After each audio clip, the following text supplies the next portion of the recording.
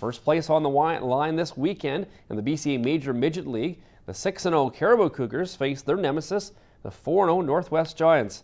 The Giants have beat the Cats in the last three league finals, and once again the G-men are stacked. I think they're a similar team. They've got a, I think they've got like almost 10 guys back from last year, so they're quite similar. And they've got uh, Jansen Harkins up front as a 15 year old who's a uh, Prince George Cougars draft pick. And you know, he's a pretty good player, so you know, you got to pay attention to him. But for them, they're, they're always preaching team defense, and they don't score a lot of goals, but they score them when they need to. So, you know, we're focused on that and just, you know, bringing our four line attack to them we're pretty happy where we're at, and to come out of here 8 0 would be pretty special.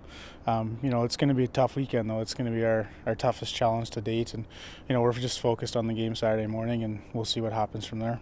And the game starts tomorrow morning at 11:45. They'll also play Sunday morning at 9. The Cariboo Cats looking for revenge this weekend.